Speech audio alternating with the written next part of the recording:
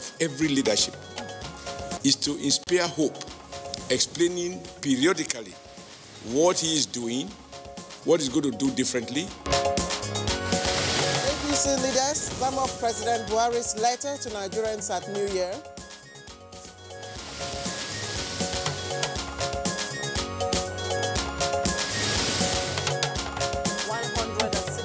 hostages freed as Nigerian military mops up Boko Haram enclave.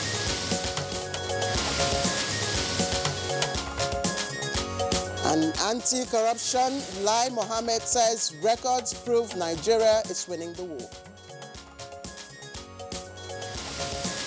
On Good Morning Nigeria today, our focus is on Nigerian political outlook in 2020.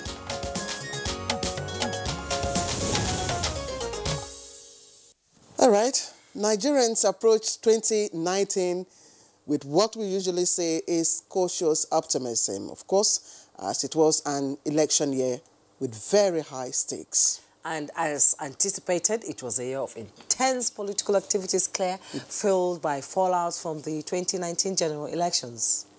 And the alignments and realignments, defections and emergence of new political parties, dozens of them, as well as gladiators. Now, the agitation for constitutional amendment to uh, lower the age for contesting uh, certain positions all pointed to the stakes. Well, Claire, 2019 has come and gone, mm. and it's lived up to its billing. Fears being entertained were allayed, and the elections, despite the postponement at the last minute, was held and certified free, fair, and credible by both the international and national organizations. Uh, of course, there were also upsets and unexpected results which characterized uh, its characteristics of our elections. But generally, 2019 politically did not disappoint Nigerians. Yes, we really had some surprise upsets. Yes. You know, and all that. That's why we are looking back at 2019 to see the good, the bad, and the ugly, with a view to consolidate on the rights and correct shortcomings for a better future.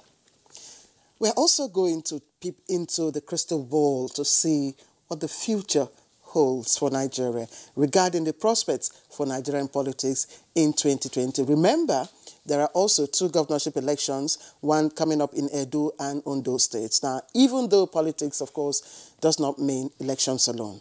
You know, that's right, Claire. Elections or no elections, politics will always be there, as it is a major determinant of how people are governed. So, we seem set to or for another interesting discussion on the program today.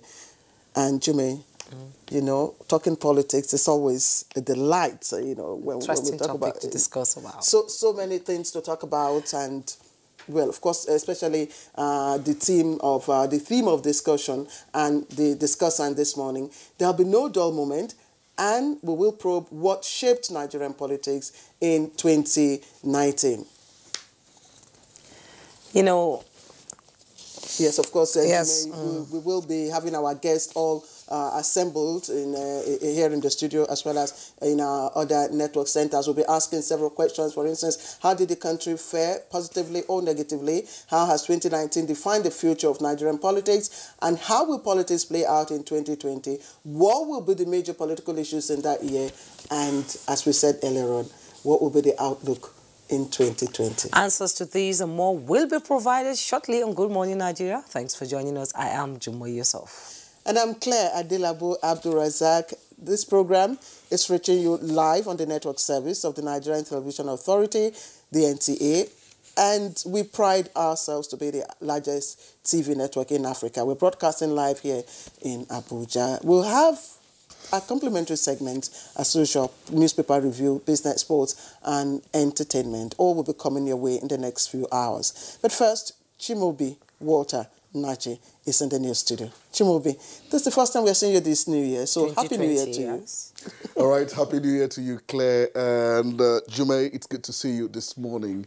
Good morning, Nigeria, and here is the morning news. The national chairman of the APC, Adams Oshiomhole, has described the New Year message by President Muhammadu Buhari to Nigerians as not only significant, but reassuring that the nation's upward trajectory for sustainable future is no fluke.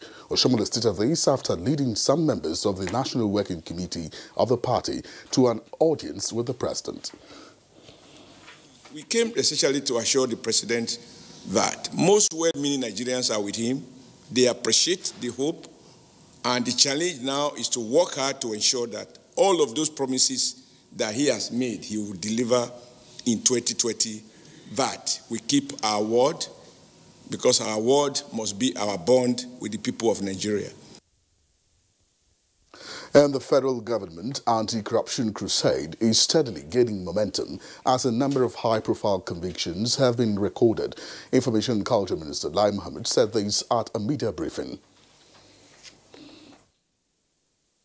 This is not the first time Nigeria is fighting the cankerworm of corruption, but it is the first time that the fight is being backed and sustained by a strong political will with a president renowned for his honor, dignity, and incorruptibility, personally leading the fight.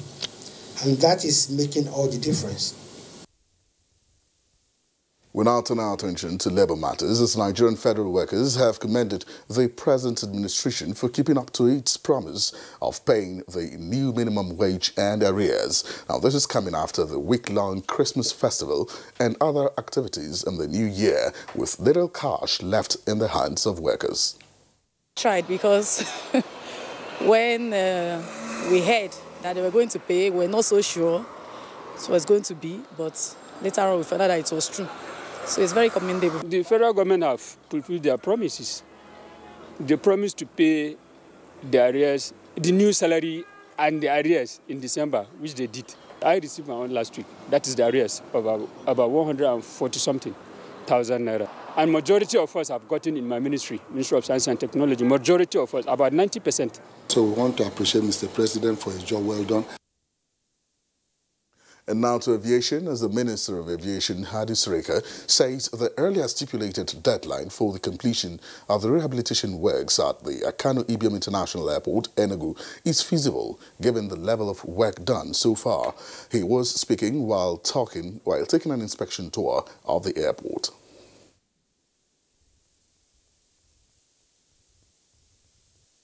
And we are satisfied that the contractor is capable and competent enough to deliver this procurement. By our program of work, we will be delivering this runway, God willing, before Easter. The state will do all we need to do to make this thing work because we know its importance. I also believe that um, the the time or before Easter should also be achieved.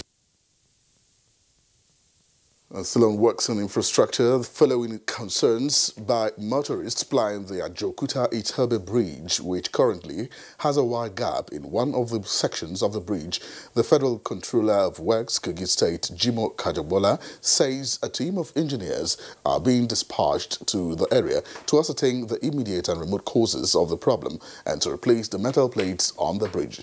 Kajabola was uh, speaking to NTA in a phone call, said there was no cause for worry and that the bridge is stable and is not collapsing. He adds that the joints are normal intersections on the bridge and that traffic has been diverted until the completion of the work.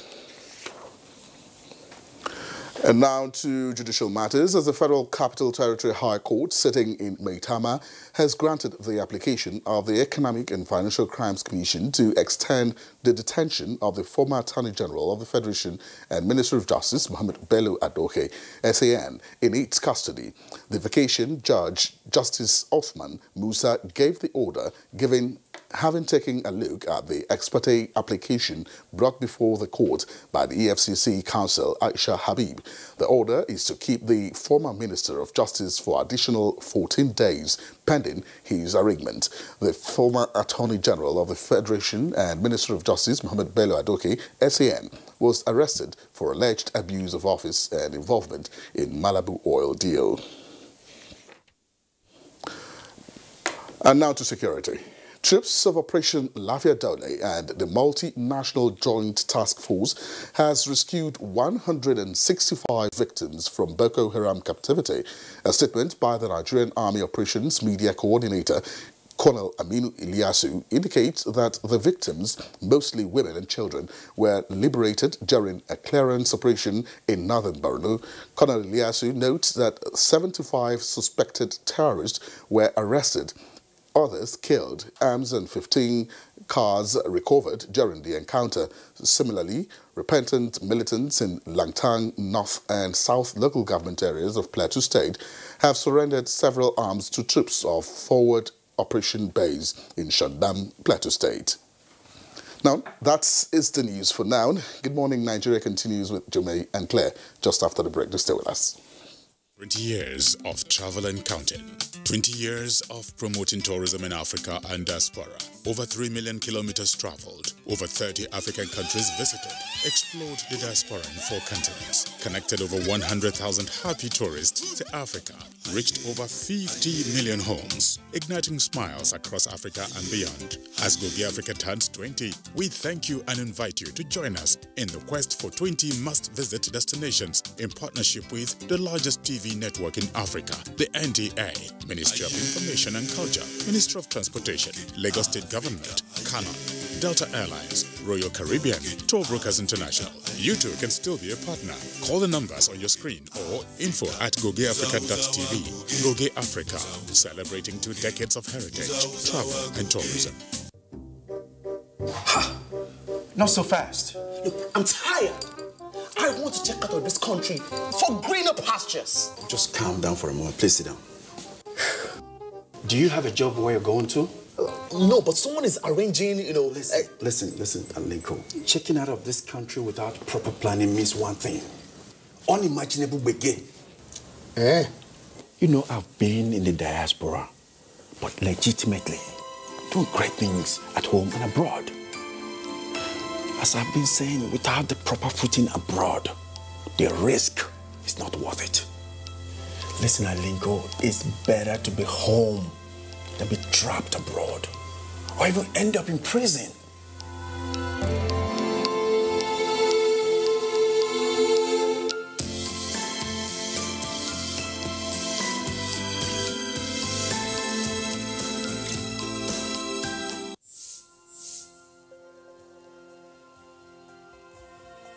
My name is Giato Adeza Adams, the General Manager, Corporate and Strategic Communications, Nigerian Port Authority.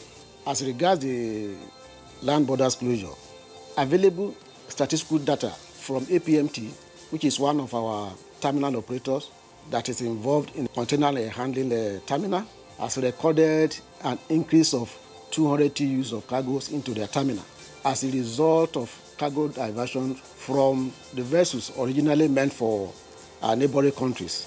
That shows you that the terminal operators is going to have an increase in revenue, which is accrued to the terminal, and at the same time, Nigerian Port Authority will equally benefit from the revenue increase. So that is the benefit we derived or we have derived from the border closure.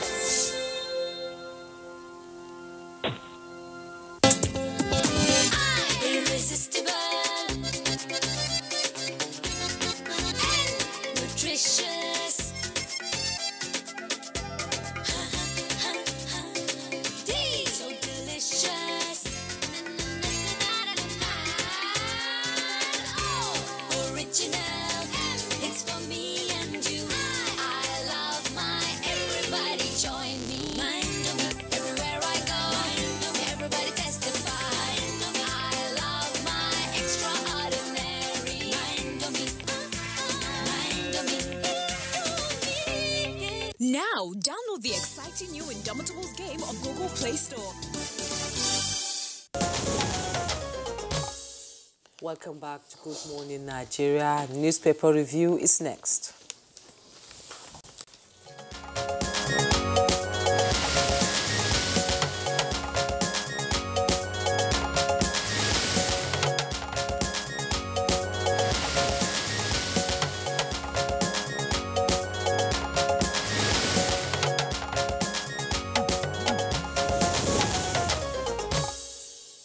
All right, sorry for that slight mix-up there. Um, does happen sometimes. But um, Bayo Toyobi is right here with us. Bayo. Yes, yes. Good morning, Good morning. Good morning, Good, morning, Nigeria. All right, then let's uh, take off our newspaper review this morning with the Daily Trust newspaper and uh, very busy front page. I'll start with the lead story 3,479 petitions filed in four election cycles, and this is despite reforms. That's the lead story. And uh, I want to see what exactly this graphic story is talking about. Um, okay, it is zone by zone election petitions. You can see it there. Zone by zone. The Southeast has a whooping 819, which uh, appears to be the highest from this uh, graphic uh, uh, story. South South has more than 700. North Central more than 500. Southwest 524. Northwest 460. Northeast 323 and the FCT has only 26. Another interesting graphic display here, uh, just at the bottom, election petitions from 2007 to 2019. Uh, you'll find the increase there by percentage, uh, or rather by numbers, between 2007 to 2019. And, um, mm, well, uh, Bayo, what, uh, okay, there's another one, uh, electoral reforms since 2017 also. Uh, we have uh, the permanent voters cards. We have the smart card readers limitation of election campaign spending and capacity building for electoral officials and judges sitting on election cases and 180 days for determination of election petitions by tribunals. And indeed this is our main topic for today, today, because yes. we're reviewing, you know, the political uh, uh, climate or the political outlook in 2019 and 2020. Bayo. What, what what the, the data is showing is that uh, gradually our politics is growing. Uh, you can see that in 20, 2007 there were as many as 1,282 petitions, and gradually they coming down. reduced in 2011. Although uh, the anxiety increased in 2019, and it decreased again from 663 that was there in 2015 to, To- 807. But uh, indication are also that there are deliberate effort as we progress uh, every four four years to have electoral reforms to perfect or improve upon our electoral process. Mm. And one of the cardinal ones that everybody is looking forward to is to take advantage of electronic system, particularly in the area of transmitting election results. Results. Because most of the confusion come from, not from the polling units, but the transition between polling units results to collation centers and final announcement. This is where you have the confusion, and most often than not, uh, the disputations that come from elections. So we are making progress. Our democracy is growing. You know, with regards to transmitting election results electronically, you know, some time ago I was in Cape Verde, as as small as a country, you know, Cape Verde. Cape Verde transmits. I mean, you could just stay there and you see the results, and and, and they have a database, you know, a, a place where election results are, you know, sent to, and from there the results are transmitted. So if a country like uh, Cape Verde can do it. I mean, it doesn't matter because the excuse given is that Population. population you know, but Uh, no, no. Uh, Cape Verde, one of our smallest states in Nigeria is Bayelsa. Bayelsa is certainly bigger than Cape Verde. So you can't compare it. So you can have how many Cape Verdes in one Nigeria. But it's not a question of size. It is the question of the technology and the ability to cover the whole space. Before this election, INEC had intention and they even had trial of electronic transmission of results. Yes. They did that in some of the off-season elections. But for the general elections, they had challenges about satellite coverage because there were blind spots where you couldn't do that electronic transmission. and one critical problem was there, there was a clause in the Constitution, uh, in the Electoral Act, that prohibits electronic uh, transmission of results. So that, if that, that clause is el- eliminated, if it is amended, then we are good to go between now and the next election. Uh, improvements and initiatives can be taken to ensure that we take a good advantage of that 2020, we have elections coming up in Edo and Ondo State. Yeah, those are off-season yes, elections. off-season. Mm. But Mm. it could be a, you know, a trial for all this electronic. Indeed, it before could be a trial 2019, before 20, before 2023. 2019, there were trials with some states. Yes. So it still could, could be part of uh, INEC perfecting its measures about electronic. Mm. uh, But, but still on this on this issue because this is very important really it's very important because this defines the quality of our democracy whatever happens in our political system and this the daily trust has done a very good uh, uh, analysis i must say uh, looking at some of the electoral reforms since 2017 that's uh, within the lifespan of this administration in, we have permanent voters cards Yes. we have smart card readers. We also have the introduction of limitation of election campaign spending Bayo, which is very, very uh, Yes. uh, impo- important. And played a big role, uh, yes, 20- yes. And yesterday I was watching one of the international media outfits, you know, uh, precisely uh, the U.S. where election, you know, uh, holding this yes, are going on. And the issue of spending, sources of spending, how much is being raised in terms of fundraising, you know, was the major important aspect that And was it's an open book there. And it's an open book, exactly. It's an open book there. why won't it be? Why can't it be so in Nigeria? Well, the Electoral Act uh, provides for election expenditure limits. How to monitor that is the challenge for INEC. But be that as it may, as, as, as indicated, since our election commenced in 2007, there, gradually there have been some electoral reforms since uh, we came back to democracy in 1999. Because now we have democracy in practice outside where we had military regime. And so as we go ahead, as issues come up, so would our politicians and our legislators amend the Electoral Act and the Constitution to suit the democracy Uh, we as require. if as if Daily Trust was eavesdropping on what we're going to do today. Ah. Actually, let's look at other stories on the front page of the paper.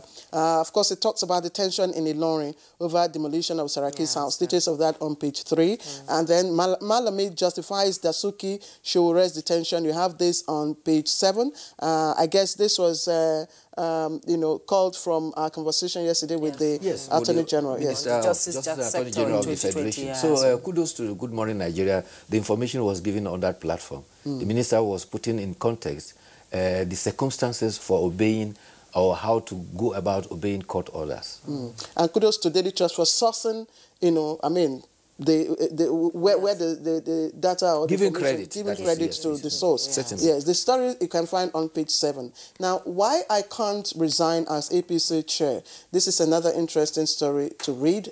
It's on page forty-nine, and it's been attributed to. Uh, the national chairman himself, Oshiomhole. Uh, uh, okay, b- Can we look at Jimmy, other stories uh, at the bottom of the paper, or rather at the foot of the paper. all starts 2020 higher on trade optimism amidst Middle East tensions, and that's on page 15.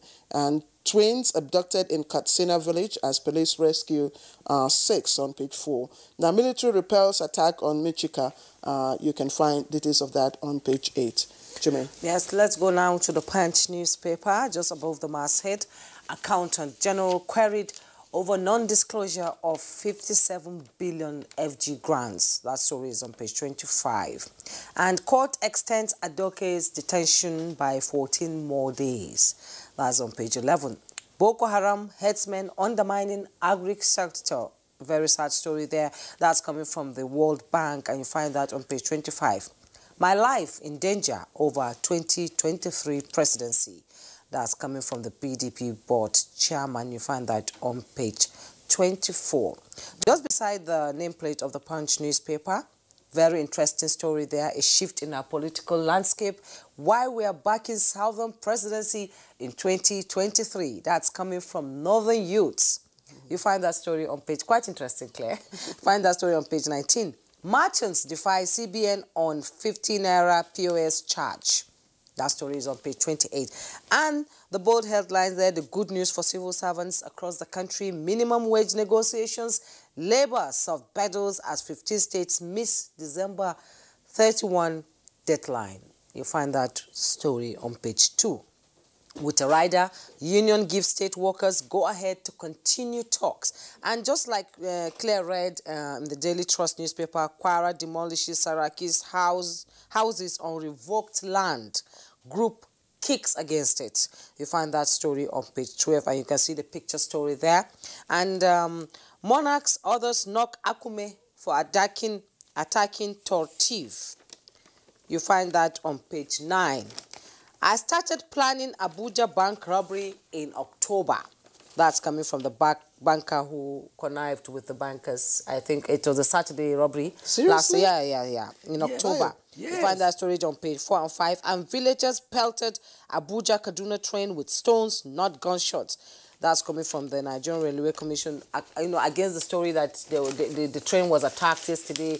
When one of my friends was telling me, I said, no, no, as long as I don't see it on NTA, I would not believe it. Indeed, indeed, a passenger, Yes. a passenger uh, who claimed to be on that train posted it on the social media that this is not true. This is not a true picture of what had happened. Happened. You, you- understand? And I mean, I, I wonder where we get our stories. Stories. Fake news. I think that is why we need a law like that in, in Get your facts Yes. There is a Get the facts right before you post. There is a danger with fake news. And with social media, Mm. that danger is expanded in the sense that the social media has ability to, to go far in, in, by way of reach. Now, two papers are reporting the same story. Punch is confirming that that train was attacked and it was not a gunshot. Rather, it was a stone that was thrown by boys after the train had left uh, Rigasa, Rigasa. at Katari. However, the managing, they quote the managing director of Nigerian Railway, Yes. uh, Fidet Okhiria, Okhiria. as saying that no, there was no gunshot, but maybe it was some boys that hauled stones. But the the uh, the man who is in charge of the Abuja Kaduna train uh, also confirmed that this is a recycled information.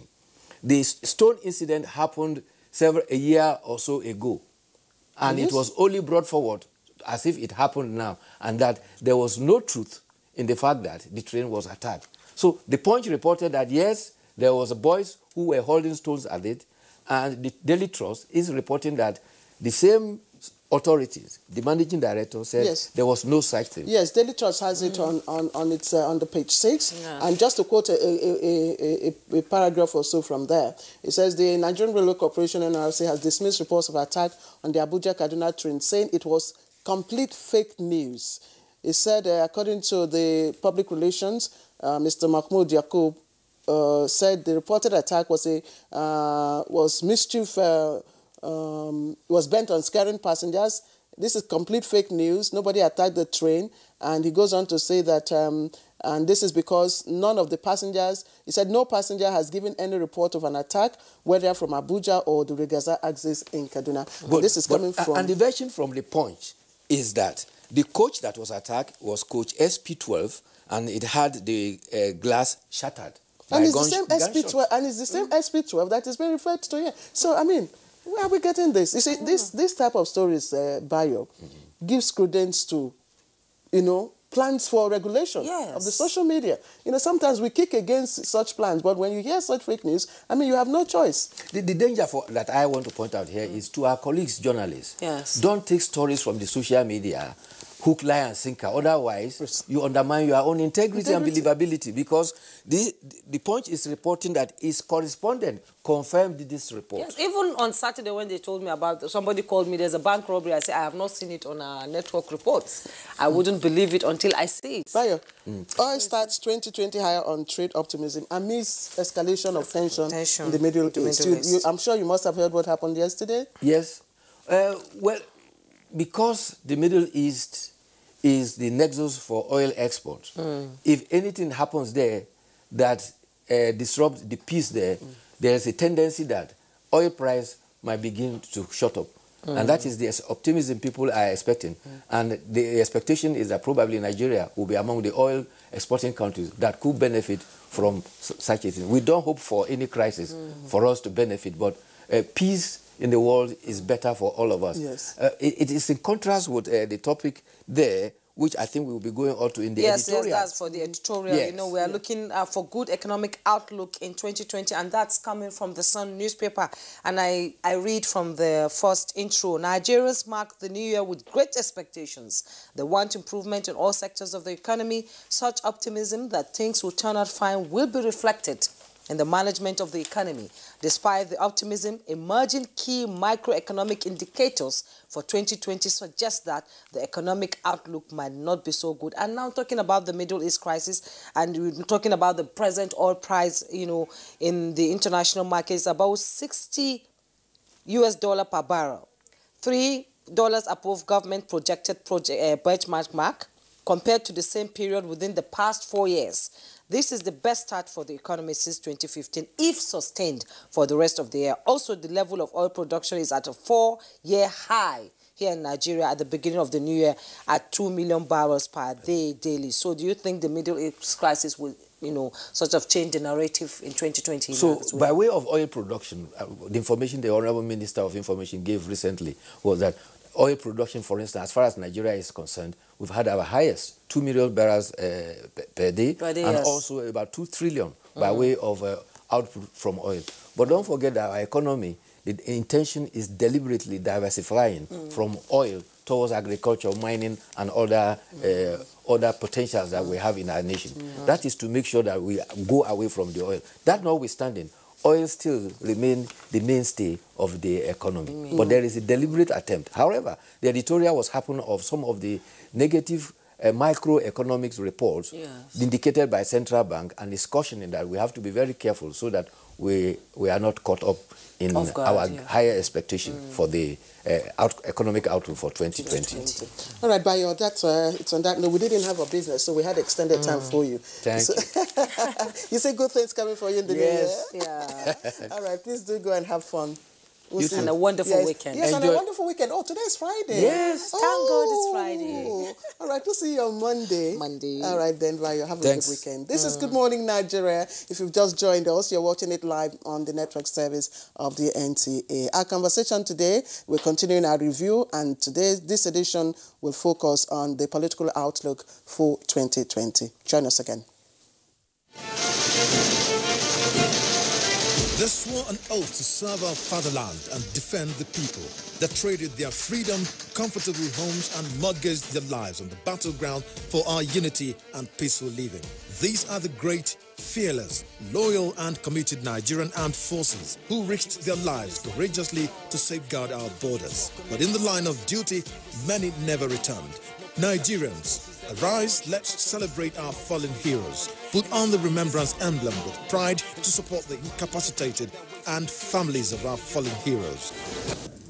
It is to honor the memory of the gallant men who paid the supreme sacrifice to keep the country united. President Muhammadu Buhari enjoins all ministries, parastatals, religious and corporate bodies to donate generously to the Emblem Appeal Launch. Send your donations to these accounts. Account name Emblem Appeal Launch. Account number 393-200-7526. EcoBank Nigeria PLC. Nigeria is our country, and it's the only country we have. Irrespective of religion, tribe, the heroes of our past did their best to take Nigeria to where it is today. It would be unfortunate, I repeat, unfortunate, absolutely, if we don't keep Nigeria intact. We must put our differences behind. We must let everybody know that human beings cannot live together without some differences. But at the end of the day, our country is Nigerian. It must always come first. Get ready for the Unity Challenge reality TV show. Coming soon.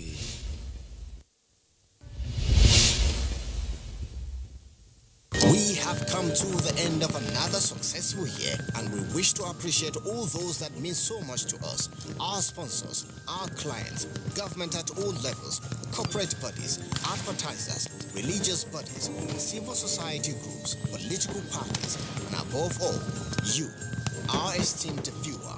Together, we made 2019 great. Together, we shall make 2020 even greater. That is why we say, thank you. This is wishing you Merry Christmas and a prosperous New Year.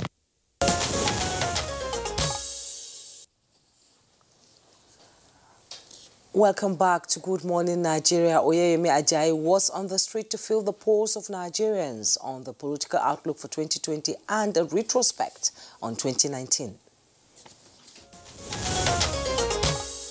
Mr. President is doing good, and uh, I expect him also to continue in terms of fighting corruption. We have to fight corruption not only in the in the uh, in the uh, uh, public sector. We have to go to the private sector also and fight this corruption. Good thing they have passed a good budget, which should be in the, uh, will go a long way in addressing some issues. But most importantly is uh, that of uh, insurgents. Employment, government should try as much as possible to to create more job for the youth because so many people finish the university, there's no job for them.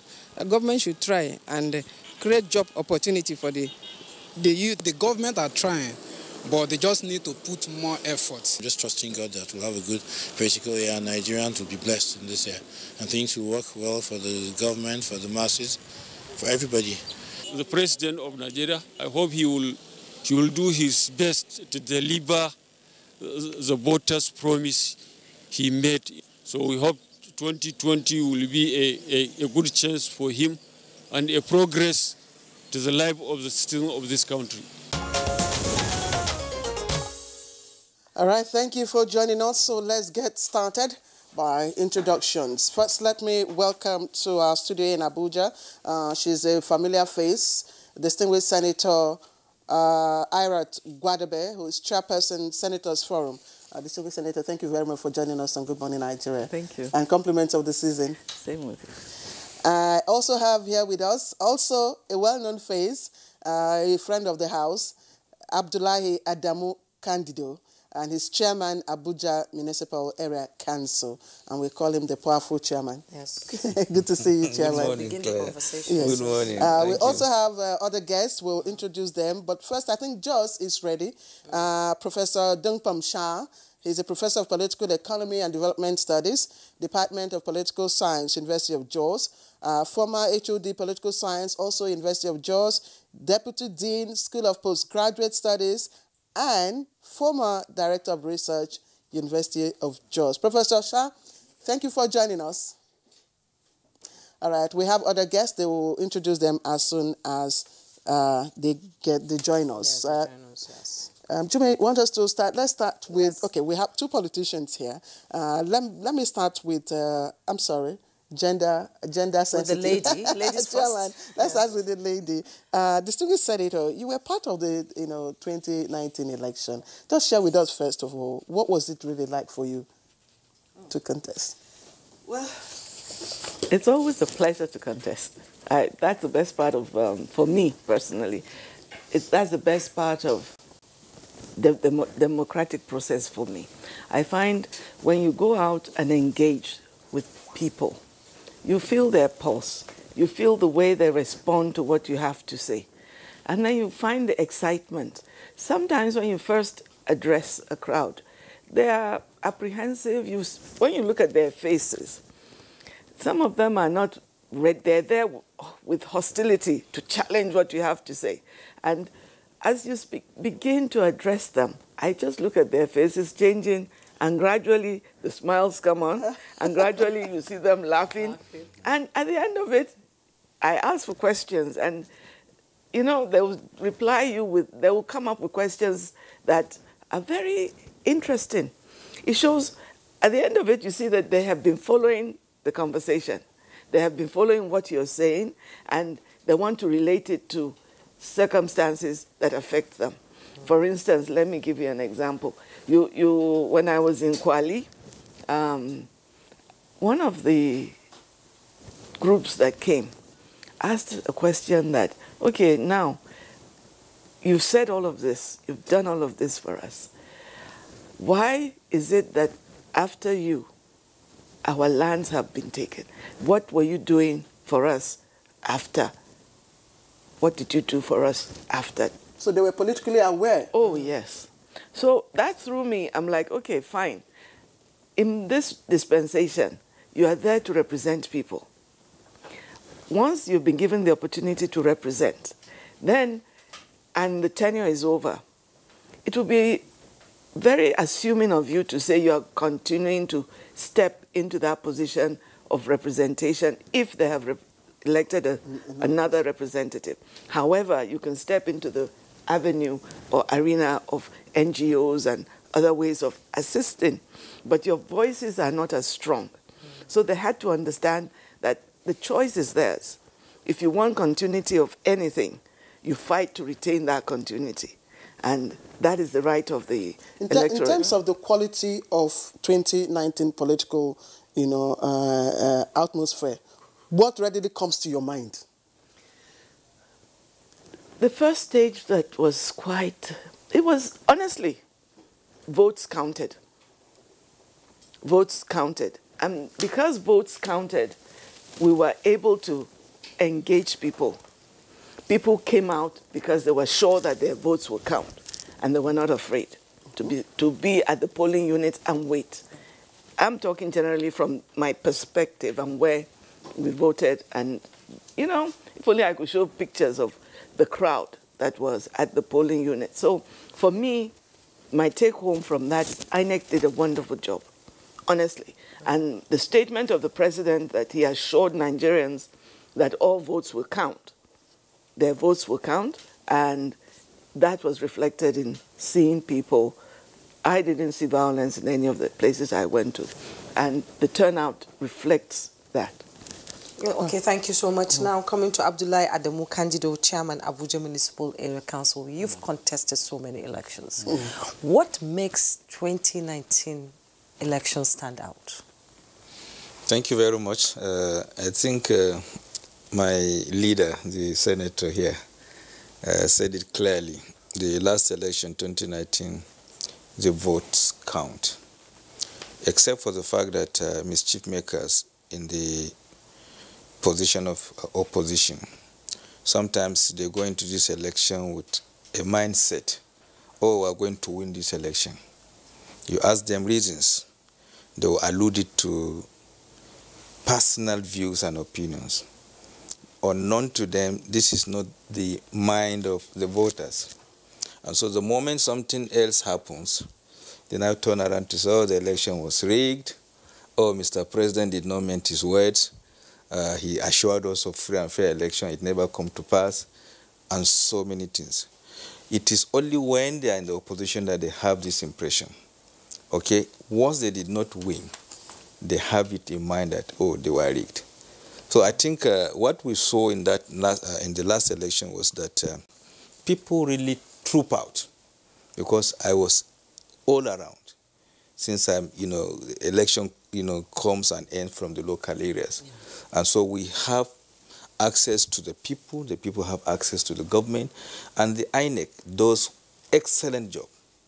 But like I'm saying, the the views expressed by opposition, okay, and wanting the international, the global society to assume or to, to, to, to hear them out, thinking things are bad in this country. This is essentially what some of us looked at, and we think uh, the next election, okay, looking at what Mr. President has further promised, I think Nigerians should really look at the mindset and the body language of Mr. President because he meant well for this nation. And Okay, so opposition shouldn't just cry out and just believe that, oh, once they are in the opposition, then the victory is theirs, thinking that is what the minds, uh, the people have in mind. Okay, let's bring in our guest from uh, our JOS uh, studio, Professor uh, Dung Pam Sha, who is a professor of political economy and development studies. Prof, a compliment of the season to you. Uh, you've listened to the distinguished senator and, of course, uh, AMAC chairman. Both believe that 20, 2019 election, uh, of course, uh, produced some positives in terms of one, they've both agreed that voting counted and they've given INEC pass mark. But in terms of the behavior or fortunes for politicians and political parties, how would you rate each of them? Um, thank you very much. Um, I greet you all from the cold city of Jos. Jos is very, very cold today. Um, I think we must be very fair to this country uh, by engaging in very deep analysis that would help us, you know, to develop. Um, from 1999, I think we set in place quite a number of institutions, uh, practices, procedures, which, which help us to realize that it's, it's good to develop as a country politically. And I think we, we, we, we, we, did that. We saw progress. Uh, people accepted, you know, to move with the, with, with the um, democracy train. And uh, civilians, you know, were really the backbone, you know, of this development. So I, I, I think that that's something that one should um, give a plus uh, to this, the um, citizens of this country.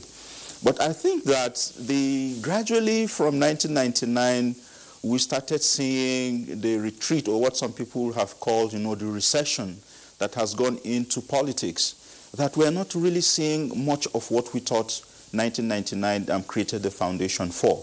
And so 2019 was, was a year that uh, people lamented very seriously about uh, the progress that um, the country in, in, you know, had made. It, it, it really marked you know, the reversal you know, of what we jubilated uh, for creating um, in terms of the uh, politics of the country. Um, I, I, agree that turnout was, was, was very large, and we have, we have done studies you know, to show that turnout was very large. Lost uh, um, where okay. violence you know, took place. Um, we, we had a very Oh dear, oh dear, oh dear. Sorry about that. We've lost signal from Jos. We do hope to reconnect with Jos and continue our conversation with Professor Dung Pam Sha. But he was talking about the um, uh, uh, uh, gradual you know, development from 1999 and a huge expectation. Uh, Distinguished Senator Irat, with all the buzzing of the political campaigns and, and all you know, that happened in 2019, because we're looking at 2019 you know and and going forward to 20 uh, 2020 now. Where were we exposed in terms of upholding best practices? Where did we falter? He was going to say that. Oh okay. Well for me um, having been a participant in 1999 and um, hearing him talk about the gains of where we were in 1999 1999 we came the political scene was different. We were coming from taking over from the military to a new democratic uh, dispensation, and the excitement was very, very high. And the parties that contested at that time contested very, very keenly also. And of course, we didn't have all these electronic systems then. And you could see that even that result was challenged at the courts. Mm -hmm. So that itself um, shows our, our culture, our political culture, that results will always be challenged. Um, thank God for the, um, the court system, because if there wasn't an opportunity to challenge, you can imagine what the, the downside of that would be. However, moving away from that, the economic situation and the issues on the ground in 2019 were quite different from those of the um, um, 1999. And those issues were quite salient. And when you, subsequent elections from 1999, the issues that came on board were quite crucial. By 2020, sorry, 2003, mm. the issues were issues of whether you were satisfied with the performance of the president then and you wish him to continue and within the party of PDP, the, the primaries were keenly contested. So much so that the first time you see the, um, at the Eagle Square, the lining up of all the ballot papers and how they kind of introduce a manipulative system of voting to make sure that the presidential candidate, the sitting president, emerged. Now, at the general elections of 2023, sorry, uh, nine, 20, uh, 20, 2003. 2003, thank you. At that point, the issues were, do we still want a president that will continue to interfere with the other arms of uh, institutions of government, particularly the legislative arm? And that, those were the issues at that time. And do we want a president that would not um, listen to, would continue to do things that are um, unconstitutional. So that was what was at being play. was at play, and the results went the way it went again. And you saw that was when General Buhari challenged, uh, came into the uh, arena, and it was keenly contested. You talked about the economic uh, climate or outlook then and how it probably affected what happened in 2019. Yes. Yes. Now, to elaborate on that, by the time if the economic activities in 2015 that affected the results of the elections of 2015 provided a platform where the expectation was high.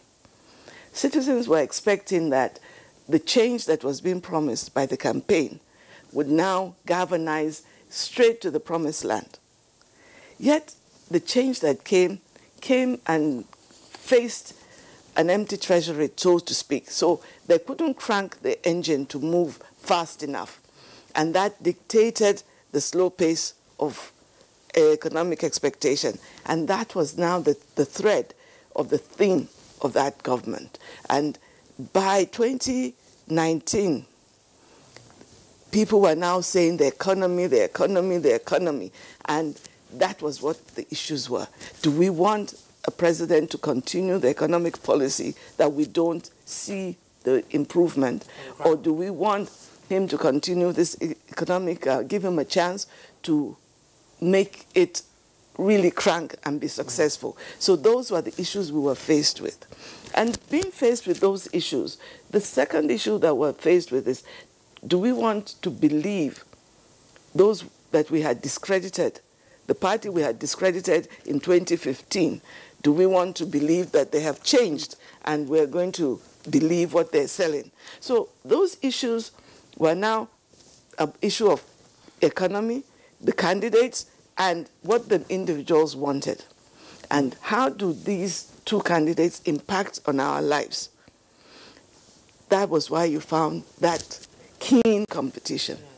You know, and uh, we'll, now, we'll now be going back to John. Yes, let's get, get returned to Jos. Uh, thank God we, uh, we've uh, gotten our signals back thanks to our engineers. Uh, of course, uh, Professor, Professor uh, Dung Pam Sha, we're very sorry we had to, or signals had to jolt you out of your mind's tra- trajectory. But let's remind you, you are trying to uh, evaluate, uh, you know, progress made in the political uh, uh, system since 1999 and now. Please, could you continue uh, from where you stopped?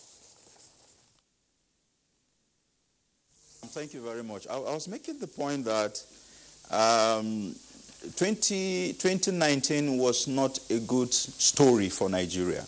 And I think we have to be very frank on this. Uh, when, when, when I say that if we're making an analysis, you know, of our own country, let's do the analysis, you know, as patriots, as people who would, who would want this country to move forward. There were, there were quite a number of things that went wrong, and I think uh, even uh, the, the, um, the current establishments, you know, within the um, current regime, you know, have accepted that some of the things uh, that, that um, happened went wrong. the elections were, yes, like I said, people trooped out, you know, to go and vote which, which demonstrated, you know, their interest in supporting democracy and making the system grow. But I think that uh, the, the, the various political actors didn't play roles that would, you know, help the system to uh, move forward. Um, when um, our senator said, you know, violence, you know, was not witnessed in her own area where she voted, uh, that does not really mean that you know, violence was not witnessed in other uh, parts of the country. We've done some analysis, you know, of the patterns of violence, you know, in this country, and it is quite clear that those um, areas that witness violence, political violence, you know, had very serious impact, you know, on electoral outcomes. Um, if you speak to INEC, you know, INEC will tell you that they were unable even to reach some areas because of violence. Um, so the, the attitude of the political class, I think, um, is, is, is, something that we need to um, uh, think, uh, I mean, to, to, to um, uh, interrogate and uh, um, also tell them the truth about how this country um, should move forward. I am aware that within that political class, there's, there's um, a group of them that would, would nationally want you know, to move forward. But there are other groups that really don't want things to move forward. They want to do the same thing on and on in order just to keep power. Um, so I think that 2019 was not a good story for Nigeria, and that's why I explained earlier that we saw a kind of reversal you know, in the gains that we had, you know, achieved since 1999. I thank um, um, Senator for bringing us back and telling us the, the, the um, um, historical patterns, you know, of leadership and also governance. And, and it's very clear that within those regimes, you would see that people were interested, especially those who were asking for electoral reforms. President Yar'Adua was interested in that. There were those who came and said, no, electoral reforms cannot take place, especially towards um, 2019 elections when we were expecting um, some reforms um, to be done to the electoral system so that we can move on, you know, as a country like other countries. But it, it wasn't. I listened to the, I, I, I read the speech of Mr. President on, on uh, January 1st. You know, he, he alluded to the fact that, yes, there were problems um, in, in um, um, 2019, uh, but there was no really solution that he said, look, we need to reform the system. And I thought that that is the way you know, we should go by saying, okay, we had noticed problem-solving leadership is about looking at problems and knowing how to solve them and willing to solve them as well. So if we have identified the problem, we should now see that, look, in the next few five years, we're going to put in place one, two, three reforms, you know, so that these uh, um, problems can be um, resolved. I noted that in his um, um, a speech, whether it, was a speech or a letter, people um, um, give names to what has, has, has been published differently. That, yes, the economy is, is one of the factors that have to be addressed. And, uh, of course, the issue of corruption, you know, is, is, is there, which, which, which is good. But we must take steps to uh, make programs that will help us address these issues, rather than um, um, making the point look as if everything, you know, has been solved. I mean, every problem has been solved, you know, in this country. So I, I, I thought that if we start, you know, our discussion on the basis of saying that we as citizens, uh, we must address this country as citizens and uh, with, with, with, the interest of moving forward, that will be a better way, you know, of looking, of our, I mean, looking at our own country. I think what we, we, we need to point out as, as, as well is that the subsequent elections, since we're discussing politics now, the subsequent elections that took place in Bayelsa and also uh, uh, Kogi was also not a good story of this country. Uh, to say that, look, we are a democratic nation, we are developing. Uh, the, the, kind of things that happen, I'm, I'm, I'm not sure if we are going to, if, if we are going to actually replicate this in, in uh, 2023, then we will not move forward in, in, you know, as a country. And, and we'll give the chance for people who are making uh, uh, suggestions that probably we may have um, issues of, of, of, of breaking up. Or God forbid, we do not want that. But you see, when we put in place ideas, uh, models, you know, procedures that will help this country move forward, you know, all of us, and, and, and this is also very inclusive, then we're going to move forward, you know, as a country. So, um, yes, in terms of analysis, I like how we've started it, but let's discuss it, you know, as nationalists.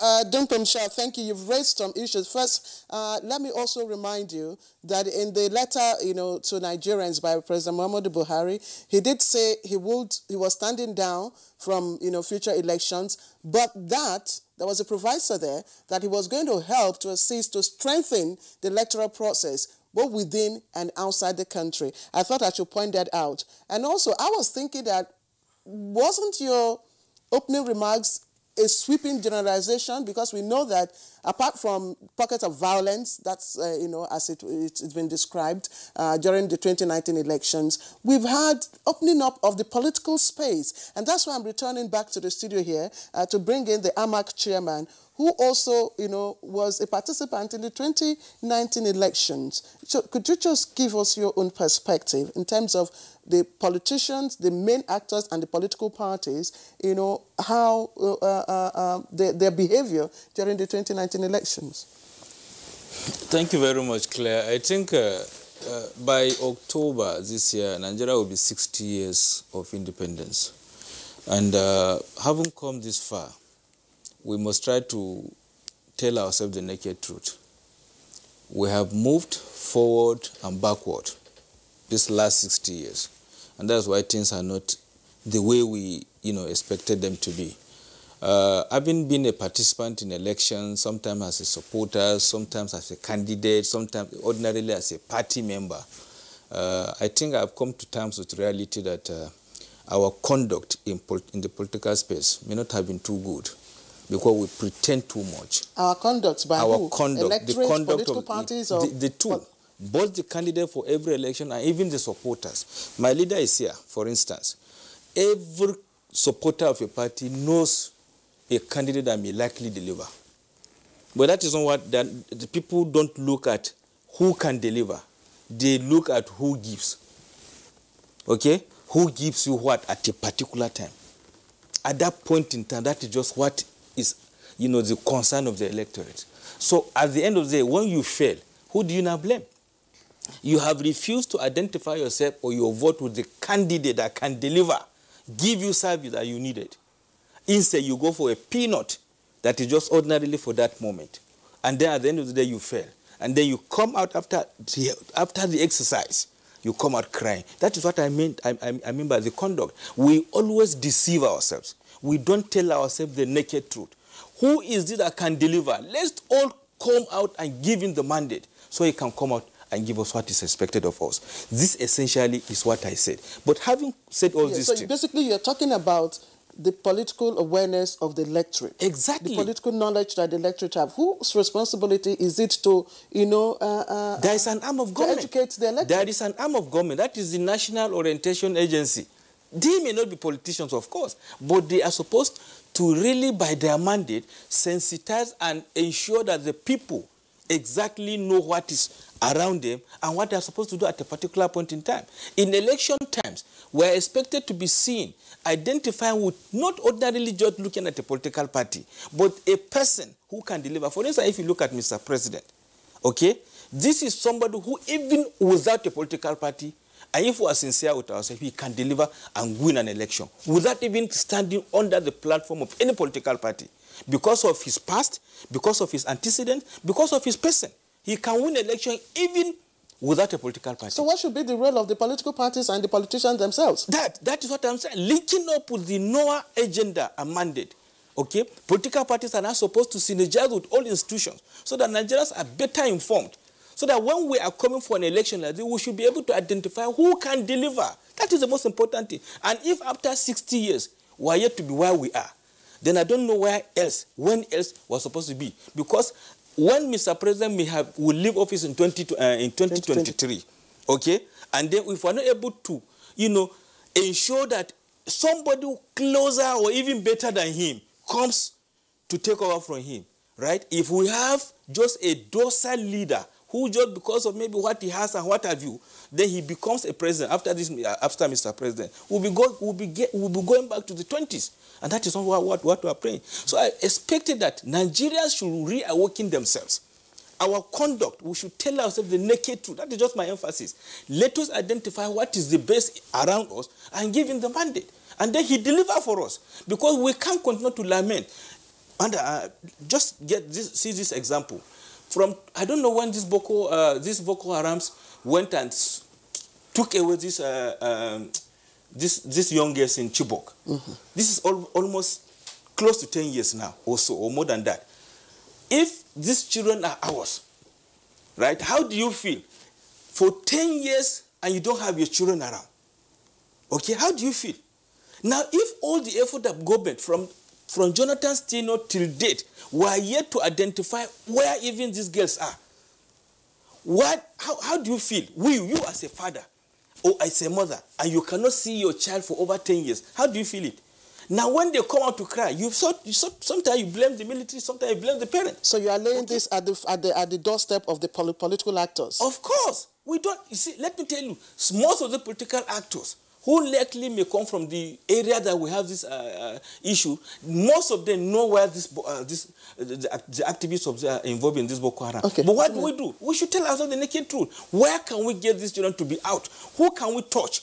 Who can we even talk to so that please release these children? Okay. Okay. Since since, since we are not That's really trying to say. talking so about how do we shift from how do we you know shift from this kind of politics you know going into this is 2020 we have some elections coming up and um, security plays a very key role in politics. Yeah.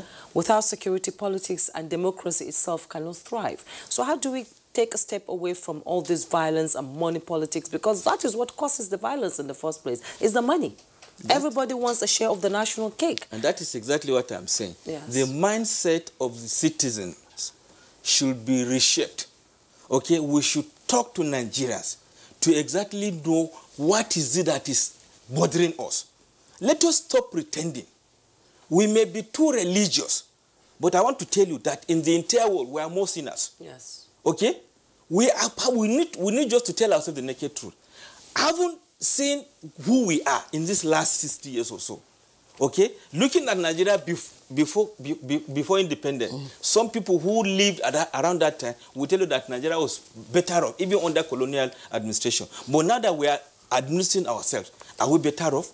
Mm. We, are to, we, we pretend too much. Mm. Well, well, well, well, that's that's a very now, yes, rhetorical yes. question. Yes, that's a rhetorical, a rhetorical question, and and uh, Jume has raised the issue of you know security and and of course politics. You, you can't really intermarry. divulge, They you know, the, yes, the security from politics. Um, distinguished senator, I, I'd just like to ask you. That again points to ideology.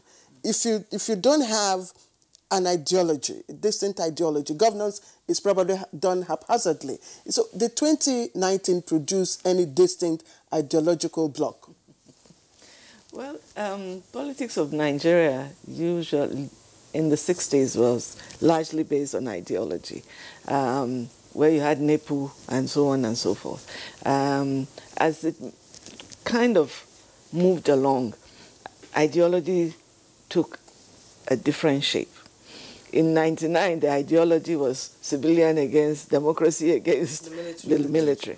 Um, in, in between then till now, the 20 years in between, the various elections have not truly been on an ideological basis. But however, we can expand the definition of ideology to say, yes, the ideology of stomach infrastructure in some places, if I may quote the famous uh, governor that said that, um, the ideology of peace in other places, people vote for, for on security issues, and some vote on the issue of continuity. These were just the peripheral uh, um, ideology. Now, when we are going to assess 2019 elections, it is best to seg- separate the elections. You had the National Assembly elections. You have the State Assembly elections. You have the presidential elections. And even though those national elections were on the same day, the results were interesting in places. Where you're having presidential election and National Assembly elections in some constituencies, they, some constituencies returned wholly voting for one party. But the candidates in all the pres- both presidential, uh, parliamentary, and uh, state, they all they all belong to parties, and parties and parties operate based on ideology. Yes, but Nigerians tend to go for personalities. And that is reflected when you look at the results in polling units of those combined elections. So you can find in some states where a governor is in party A and half of his assembly are party B. Mm. Is that the ideology of the parties they're voting for? And it's the same day election, mm. the same people voting. So, the, and different ballot papers, they would rather vote for X than Y in that party. Mm. Now, is it a vote of confidence on the ideology of the party, or are they telling you they're voting for personalities? So for me, it's personalities they largely vote for. And as a result, you find the level of returnees at the National Assemblies of one particular party getting the majority dictates the tone of the direction the people want to go from their respective constituencies. Mm-hmm. And when you now see them seated, the aggregate National Assembly members must now represent truly in their voting system within the National Assembly the voices of their constituencies collectively with a view of delivering dividend of democracy mm. for the country. Now, people have- have said that the National Assembly is kind of a rubber stamp. That's not the issue, being a rubber stamp. They, they might use the word rubber stamp thinking that because majority are in the same party and they want to go with their party um, ideology, everything that the president wants is what they will go. It doesn't follow like that because issues are debated.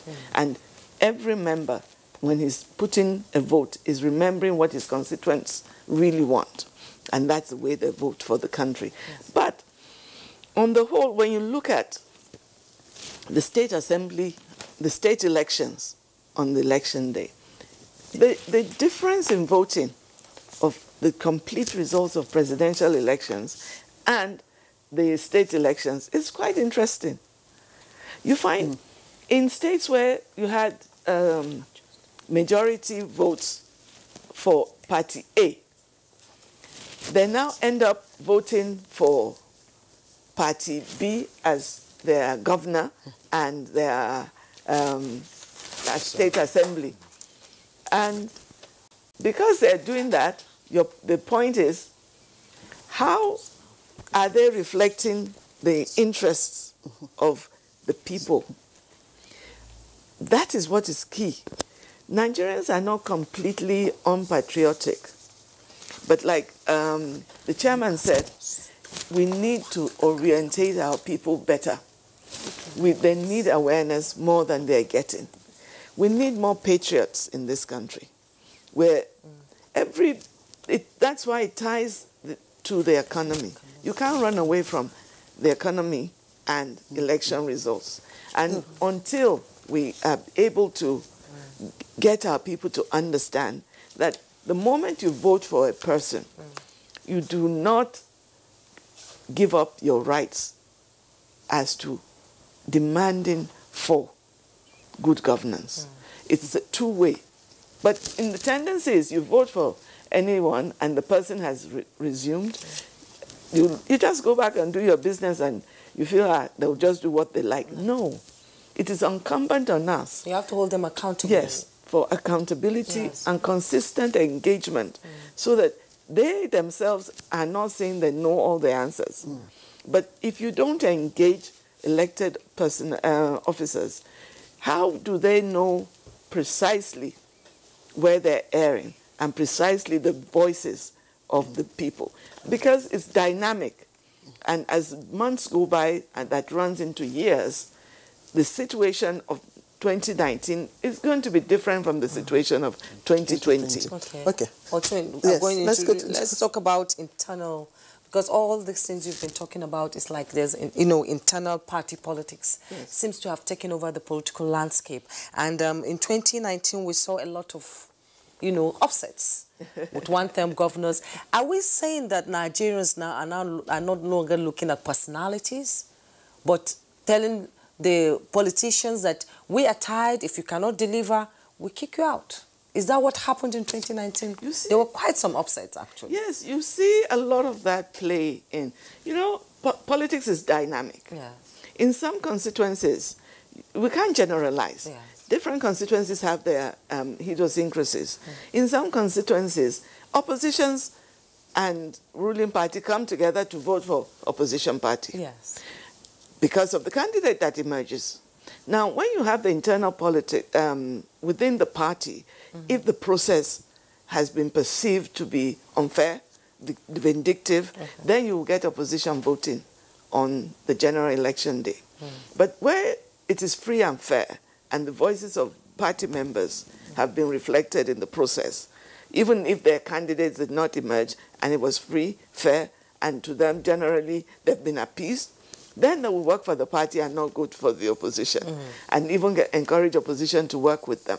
These are the things you begin to see. Largely in this country, it is personalities people vote for, and also if you're not voting for that personality, you may be supporting that personality because of his godfather or All right. godmother. All right, distinguished. Let's let's put you on hold and bring in Professor Dung Pam Sha. Uh, Professor uh, Pam Shah, you, you've listened to the distinguished and the AMAC chairman. Uh, the distinguished is saying, see, uh, we probably have not evolved a distinct ideology. That's uh, talking about the political parties yet, and that's why the political culture now is still you know, person, is, is personality based.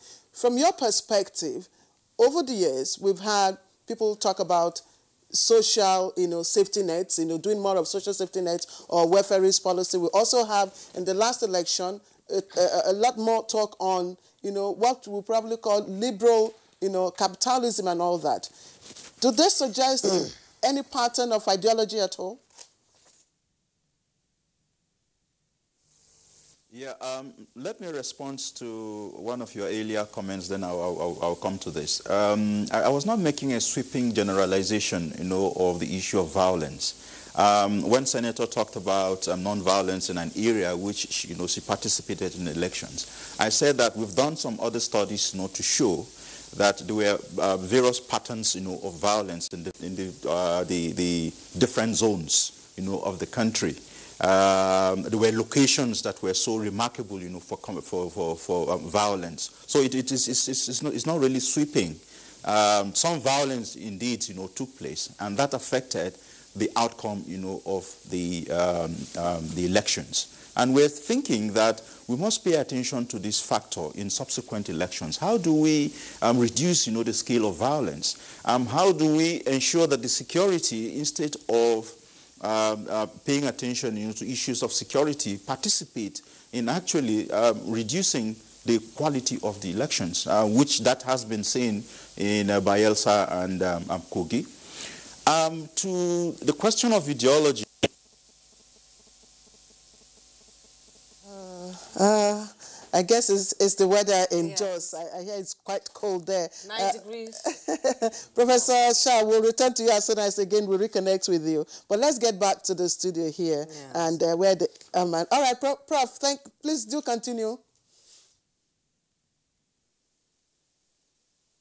Now we have to come back to the studio where mm. Abdullahi Adamu Candido is waiting. We're talking about Nigerians being aware of their rights as the electorate and holding the elected officials accountable. Do you think that is, you know, becoming possible in Nigeria? Can the electorate hold the elected accountable for whatever they do while they're in office?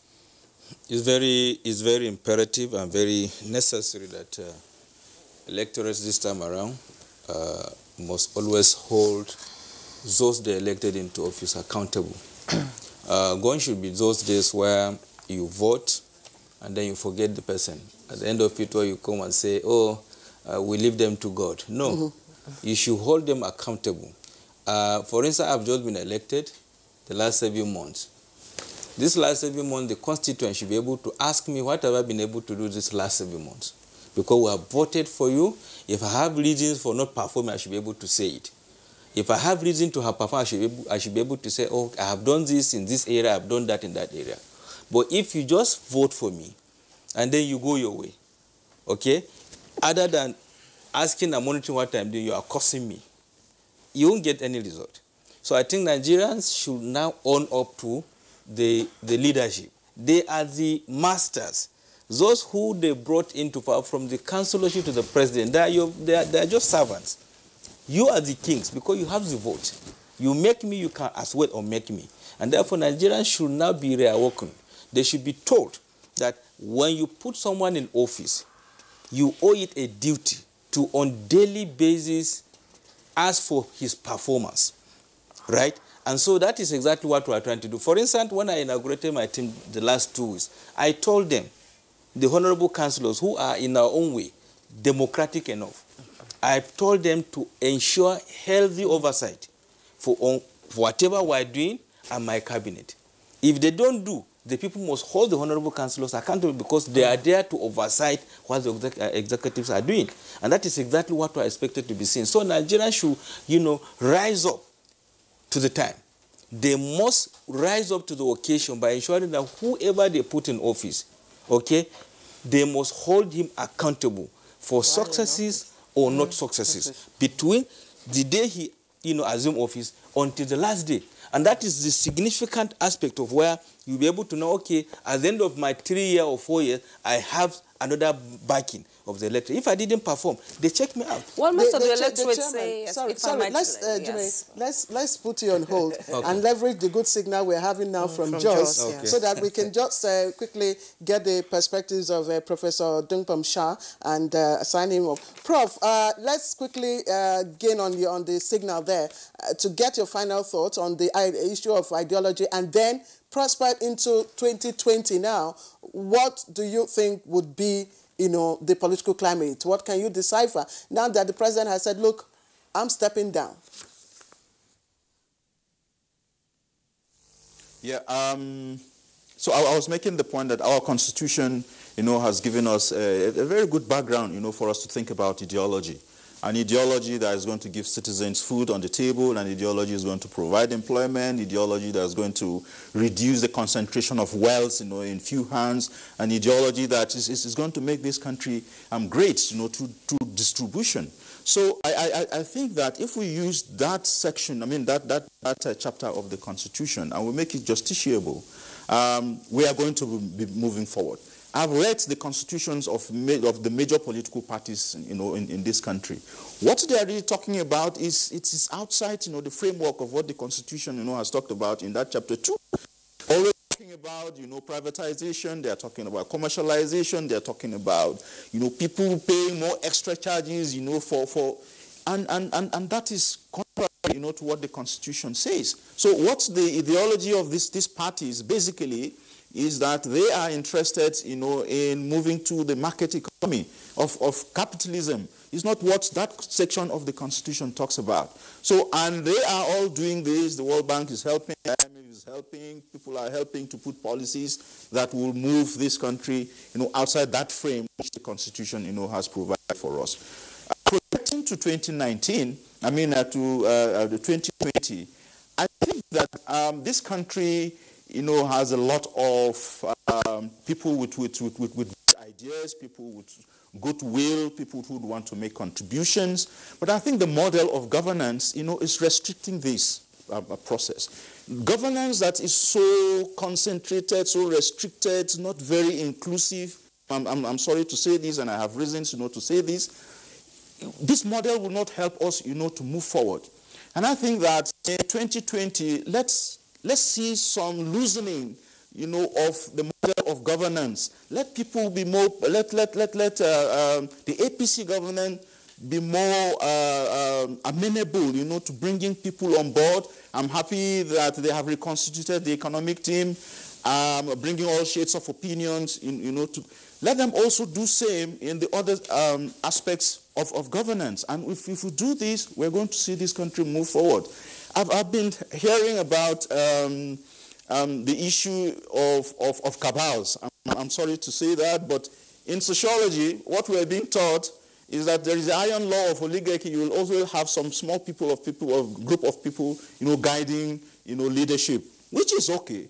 But to have this system as being pervasive and uh, in every aspect of this country, that small group keeps controlling, then we will have a problem um, for this country. And I think that um, 2020 should be able to um, tell Nigerians and also tell those in leadership that, look, governance of this country, you know, should be done in such a way that we have more inclusivity, would have more people to, um, discussing. Um, human rights must be respected. Uh, political parties must be free, you know, to participate. Uh, godfatherism within political parties must go. Uh, party primaries must be organized on democratic uh, basis. Uh, female participation, you know, must be encouraged. And we would think that this country, you know, should move forward. And not, not, not to be thinking about, you know, problems that we had already passed and we're bringing them back and making the problem uh, uh, um, quite, um, I mean, impossible for us to move forward, you know, as a country. Okay, thank you so much. We have to let you go now. I, we're having some technical issues. I think it's the weather in Jos. We've been speaking with Professor Dung Pam Sha, Professor of Political Economy and Development Studies, University of Jos. Thank you so much for your contributions. Well, back here in the studio with uh, Adamu Candido, you know, we are talking about account holding the elected officials accountable. Most of the electorate say there's no access we don't get access to those people we elected because the moment that person is sworn in, he disappears from the landscape. He never goes back to the people to ask them what they want, how do they want improvement economically, in agriculture, schools and everything. They never come back. And when you see them, the car is tinted. You don't even see him again until after four years. So how can you hold them accountable based on that? How do you get access to them? the issue of tinted yeah, cars. tinted cars. It's tinted. You never see his face again until after four years. Okay, I think Jume, that may be from some other areas, not in the federal capital territory. No, it's I'm Uh, generalizing you- it's a now. generalized uh, Yeah. matter, but I think uh, having access is incumbent on the citizens, and they have all platforms, you know, devices on how to have this access. For instance, as the chairman of this area council, I've had a lot of, you know, I've received a lot of mails, okay, letters coming from, you know, civil societies. Well, we have 40% of our electorates illiterate. Okay, I'm coming. Civil societies asking me to make an explanation on how many allocation did I receive in the last two months or in the last three months from the federation account. They want to see how it is, you know, disbursed. What have we done with it? That is an access. And we reply them. We invite them to come and see things for themselves. Oh, we have collected 200 million naira last month. Out of this 200 million naira, 170, 150 uh, 50 million went, you know, for the staff salary. The remaining one, we've been able to do this, we have been able to do that. They are satisfied. That means they have access. It means they, as, they are not just civil societies on their own, they are also representing an interest. That is the, the citizens. But far above that, those of us who are not having the access, right, like a villager, he has his councillor, who he can now ask, Councillor, what have you done in your council this last two months? It is incumbent on the councillor to let him know that, okay, our council this time around was able to get so and so and so amount from the federation account, and in this so and so amount, we the, the council was able to do this, to do that for you and me. You see, so I'm sorry, an access. Mm. sorry to interject. Now you're talking about access Yes. and talking about the councillors.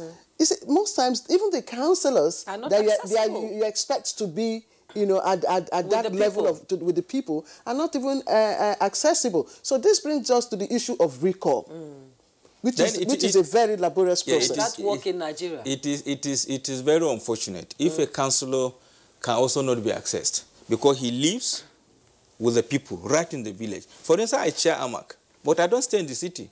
I stay with the people. On daily basis, before I just came to this studio, I may have met one or two person who, who, who, who want to have one or two things with, uh, for me. I've met with them, and by the time I go home again, I'll see me people. So the councillor and me are all domiciled around the vicinity, around the local. I don't need to be far away from We're taking a short break now. Should that happen, what should the people do? They should remove him. How? Their process. The councillors can remove me from office. How can we? That's the process. How can we make process that of process? recall has never been taken Exactly. to the logical It's because in the people have not been sensitized to know their right. That is why we're saying that if you vote, you don't go home. You hold the people accountable. The president, the governors, the chairman of councils can be recalled, can even be removed from office. All right. Not to stop that. All right, I'm a chairman. Let's uh, pause you here. Don't forget that you can be part of our conversation via via our Twitter handle, and of course, the Twitter handle is right there on the screen at NTA. GMN. We'll take a short break now. When we come back, we'll be zooming off to uh, the concluding part of our conversation. My name is Balaunti. I'm the managing director of Petroleum Product Marketing Company, a subsidiary of NNPC. There are significant uh, price discrepancy between Nigeria and its neighbors across Africa. There's a discrepancy of between 150 to 250 naira. That creates an incentive for arbitrage, whereby smuggling triumphed by taking petroleum product across the neighbor so that they can sold at higher price. While the smugglers are making the money, Nigeria is paying for it. And that payment is distorting everything that we do in terms of planning, in terms of our ability to fund, and thereby taking money that is meant for development. The introduction of this Operation White will have reduction of close to 6 million liters on daily basis, which if you take an average of 150, translate to a saving of over a billion naira every day. That is the benefit of Operation White, and we have started seeing the great benefit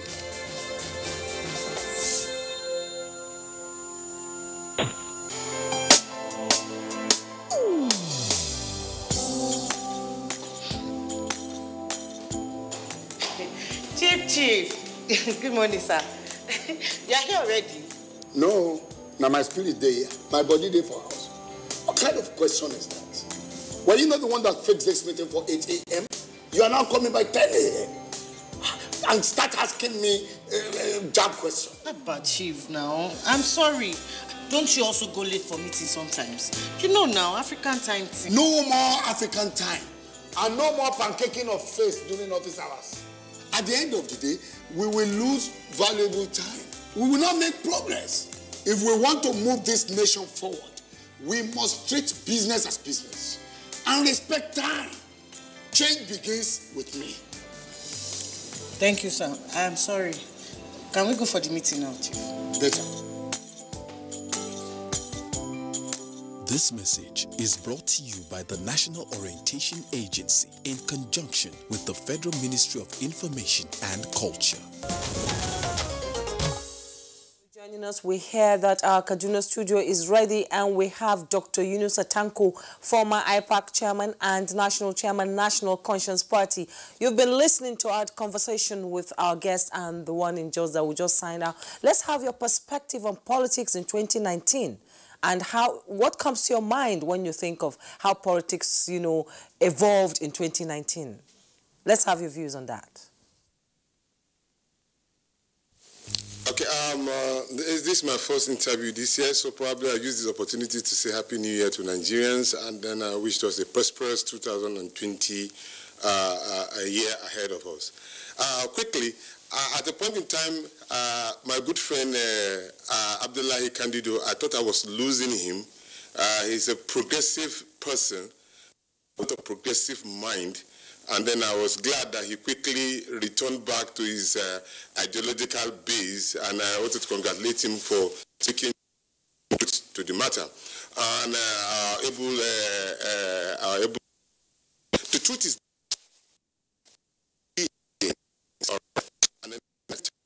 have made a lot of negative moves. Um, I am more concerned about the issue of money politics. I am very concerned about the issue of inclusivity.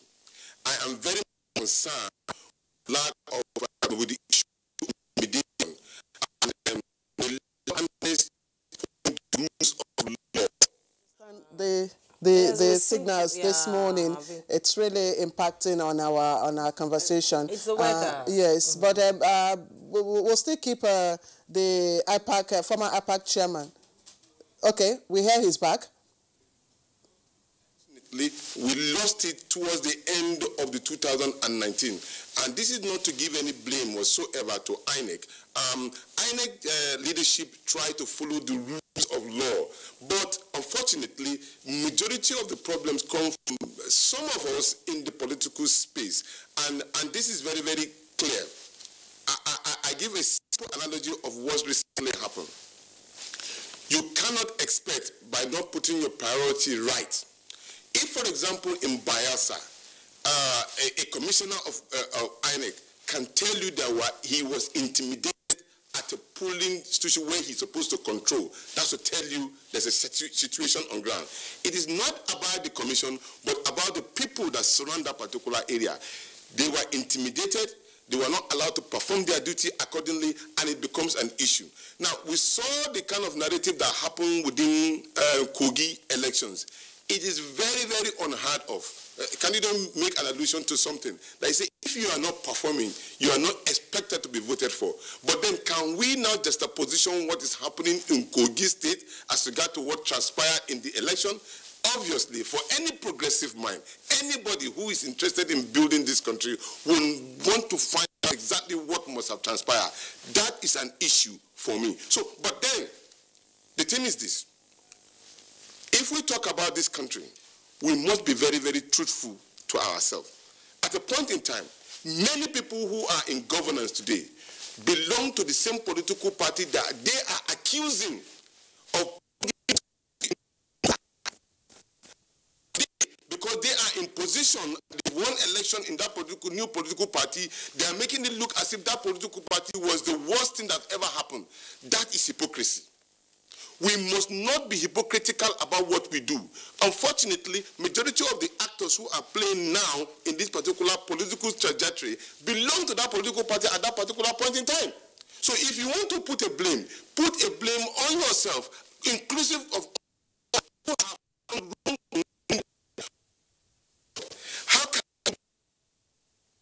I'm we're, we're getting too deep into election matters. Mm. Uh, we're actually looking at politics generally, mm. uh, not just election. So,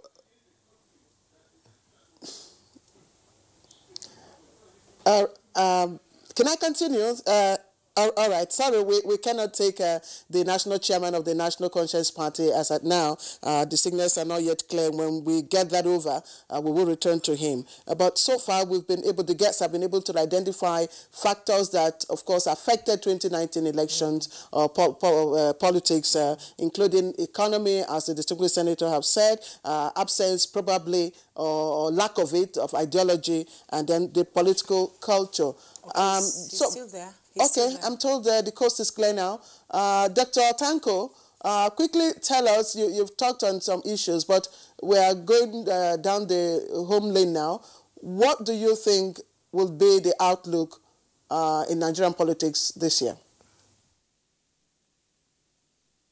Fantastic. Now, one, we must quickly do a reform on our electoral laws.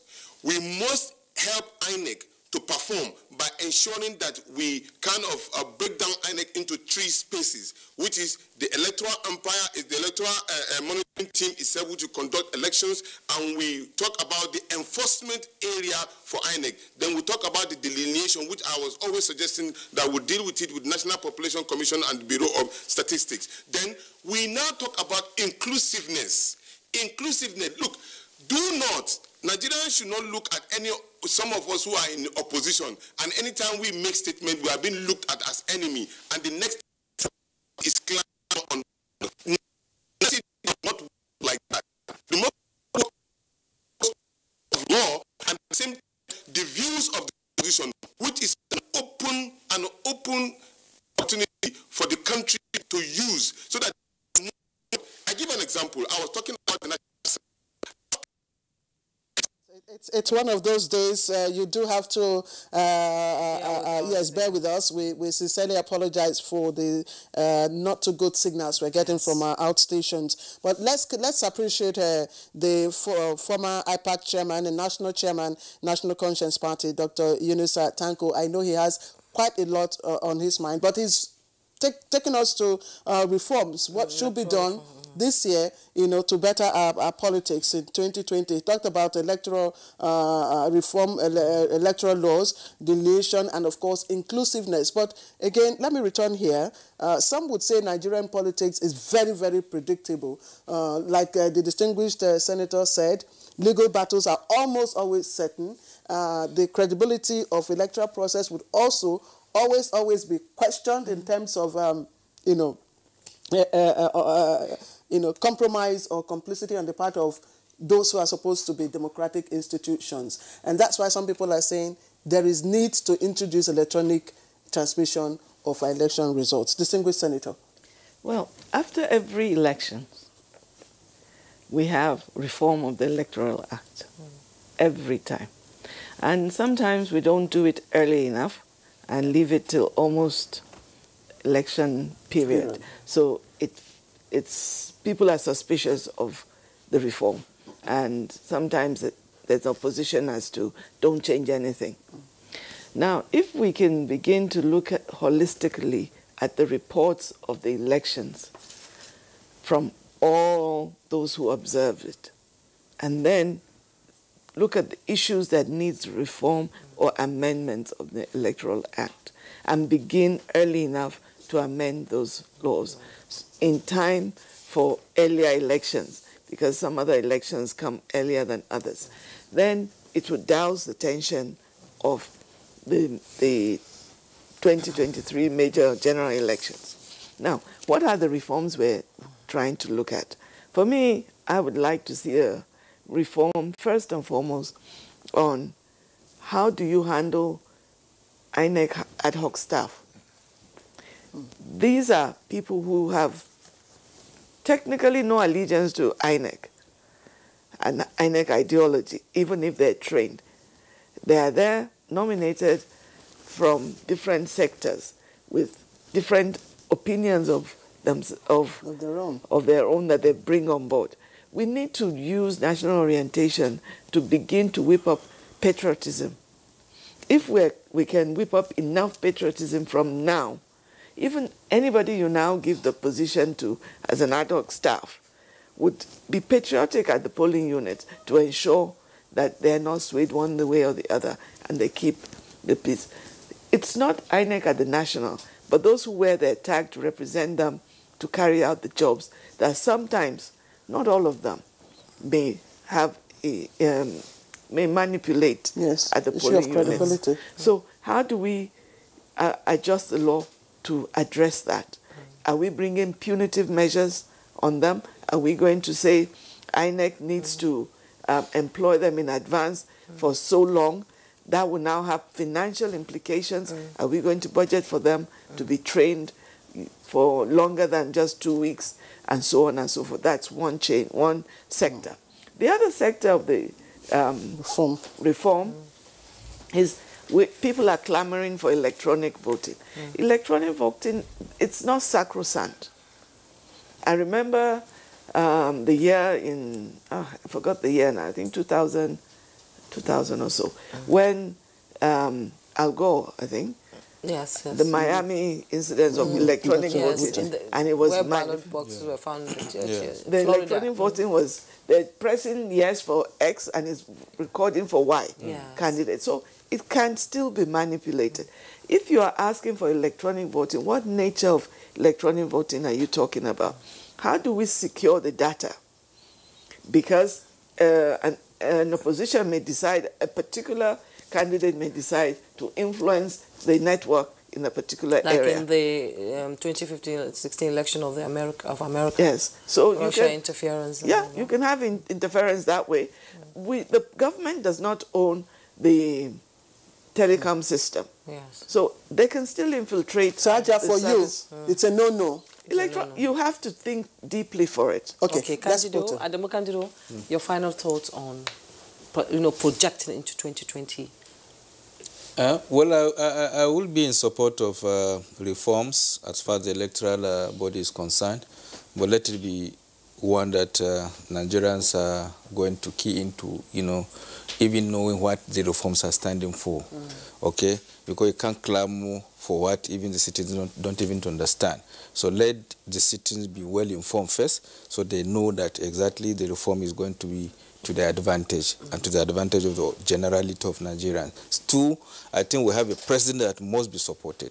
Since we are, for one time, I just have to say this: the president need a lot of support, need a lot of prayer, because uh, we have we are lucky to have a president who meant well, who is who has nothing to suggest that he's asking for personal gains. He's just serving this country to the best of his ability. And so we need a lot of prayers for him and every support that is needed. And so, so also at the local end too, we also need that kind of support so that the people can see dividends of democracy. All right, thank you. Uh, Dr. Yunusa Tanko, let's quickly get your views, your closing views, uh, hoping that the signals will, will permit us. Uh, it's all about the people exercising the powers vested in them effectively. How can we achieve that in 2020?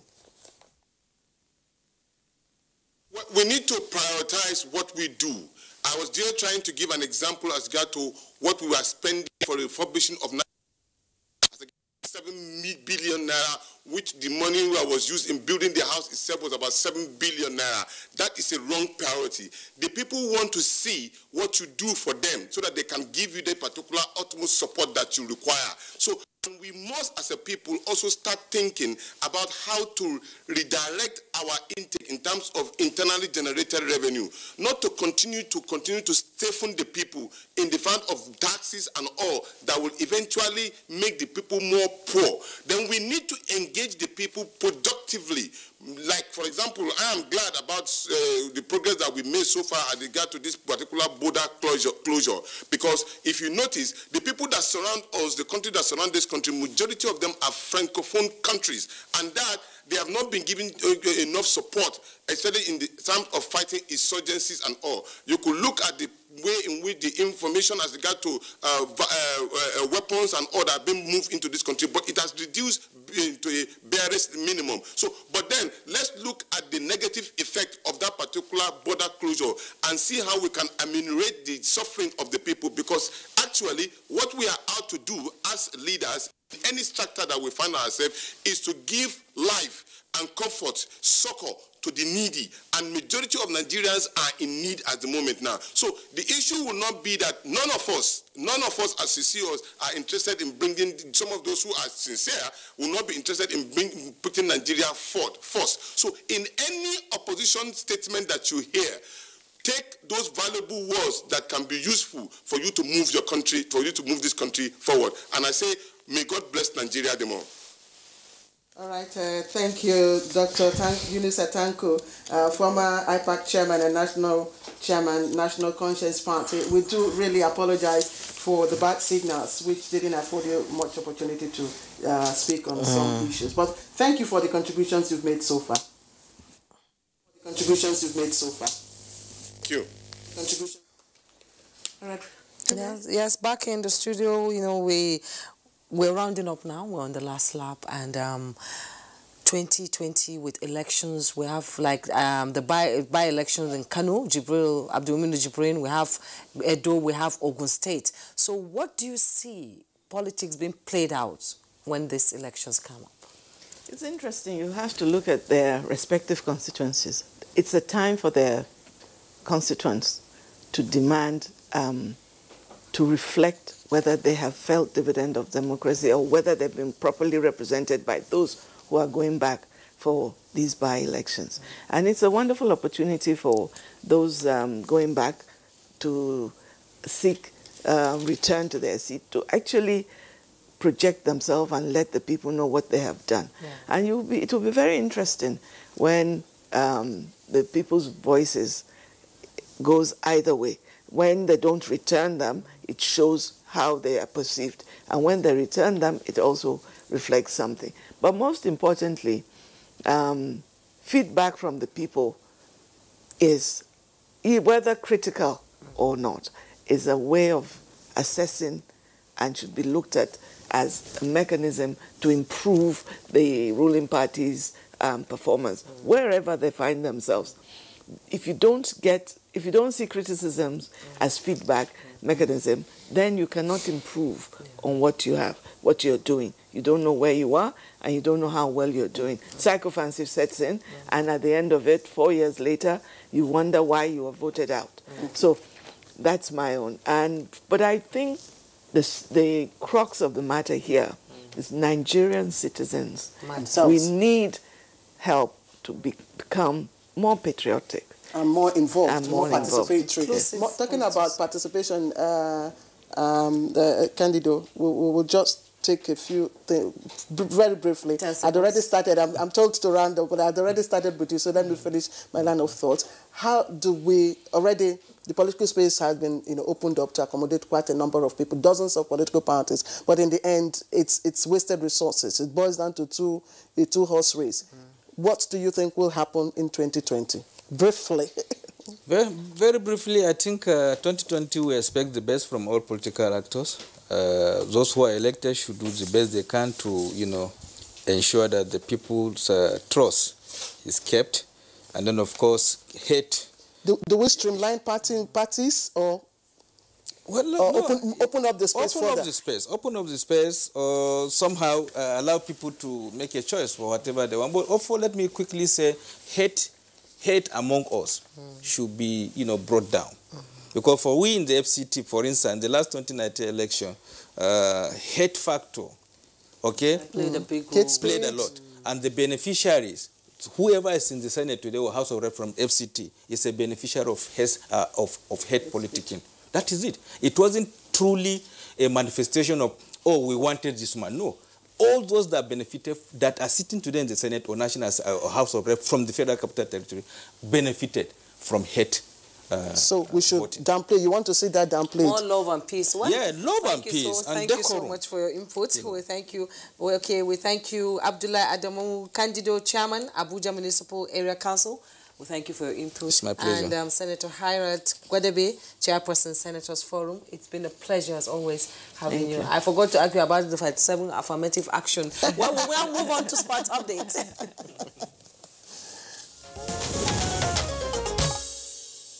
Chinese legume